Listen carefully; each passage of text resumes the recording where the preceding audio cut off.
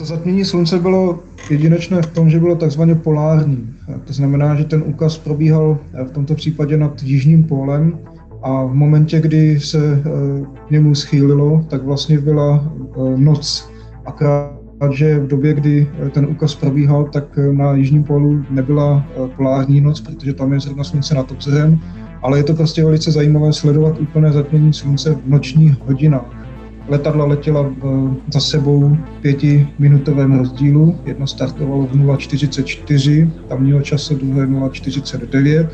tak aby mezi nimi byla nějaká vzdálenost a eh, zároveň, abychom mohli potom letět relativně souběžně. Letěli jsme eh, zhruba 6 hodin v kuse, přičemž 3 hodiny trvalo dostat se právě do toho bodu obratu, protože se letělo směrem do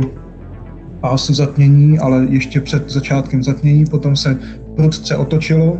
a letělo se souběžně s měsíčním stínem, který samozřejmě byl rychlejší než letadlo, takže ten stín nás postupně dohnal a e, z okénka jsme mohli vidět, z toho levého okénka jsme mohli vidět, jak postupně začíná částečné zatmění slunce nízko nad obzorem, v podstatě někde nad antarktickým horizontem, který ale nebyl vidět, protože to už bylo velice daleko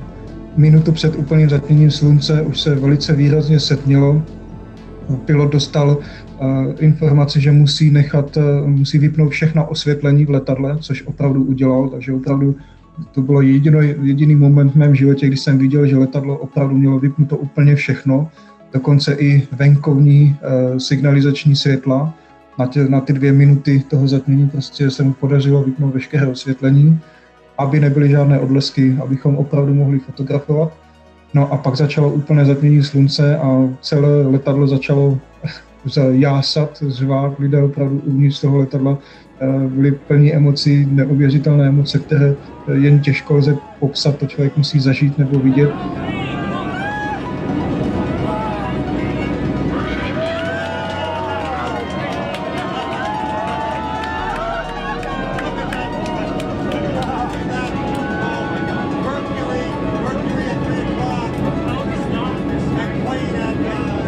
Jakmile zatmění skončilo a, a lidé teda si e, konečně uvědomili, čeho byli svědky,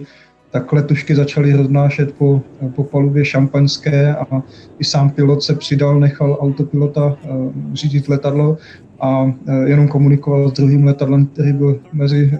vedle nás a začali teda dělat různé piškintálie z radostí, si tak jako ty dvě letadla postupně takhle na sebe nalétali a, a slavilo se ve velkém ve vzduchu. Byla to trošku eh, těžká záležitost, protože narychlo udělat obrázek v počítači, který, eh, když není připojen k elektrice, tak furt mění kontra svého monitoru, tak eh, to nebylo moc snadné, ale přesto jsem se o to pokusil. Vybral jsem jeden z mnoha obrázků, který byl, řekněme, nejsnáze zpracovatelný a zároveň byl aspoň trošku výpovědní a to ten, na kterém je vidět, jak teda ten motor toho našeho letadla a kousek křídla, tak i to druhé letadlo, které letí vedle nás a e, zároveň oba dva, obě, obě letadla souběžně vlastně následují ten měsíční stín, přičemž na obloze ještě probíhá úplné zatmění slunce a vedle toho teda ještě planeta Merkur a kousek nad sluníčkem eh, hvězda Antares. Skutečně ještě večer toho dne, když už jsem ten obrázek publikoval, tak přišel e-mail od jednoho editora eh, astronomického snímku dne NASA, že děkuje za to, že se to udělalo velice rychle. Já jsem si až potom uvědomil, že vlastně ten eh, můj výkon v tomto ohledu byl velice rychlý, protože jiní pozorovatelé ještě nestihli tolik eh, toho zpracovat a přece jenom ten ukaz, eh, ačkoliv lidé mohli napozorovat, tak nemohli rychle sdílet na sociální sítě. A opravdu ho publikovali eh, velice rychle, v podstatě hned den po zatmění slunce to vyšlo s velice zvláštním názvem